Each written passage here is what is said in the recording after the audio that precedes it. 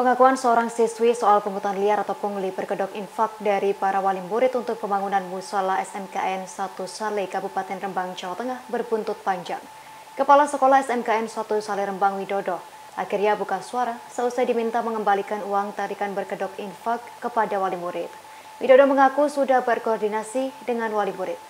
Dikutip dari Kompas.com, Widodo menyebut wali murid mengaku sudah ikhlas jika diminta mengembalikan. Hal tersebut diungkapkan Widodo pada Rabu 12 Juli 2023. Wali murid disebut tak mau menerima jika dikembalikan. Terkait inisiatif membangun musola dikatakan mendapat respons positif dari tokoh masyarakat. Meski pembangunan dengan uang iuran dari wali murid. Dikatakan Widodo, rekan-rekan seprofesinya juga mendukung upayanya tersebut. Widodo berujar banyak iuran serupa yang terjadi di beberapa sekolahan. Bahkan menurutnya banyak sekolah lain yang memungut iuran hingga jutaan rupiah. Sehingga lambat laun hal tersebut kemungkinan akan terungkap secara sendirinya.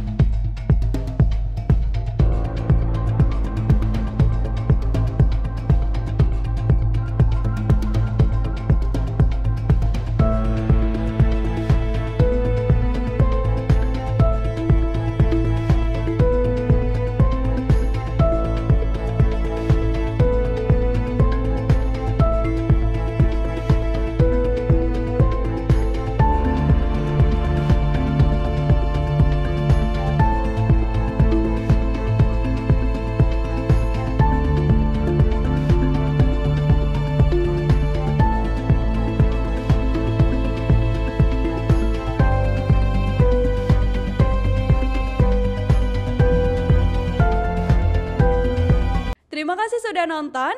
Jangan lupa like, subscribe, dan share ya.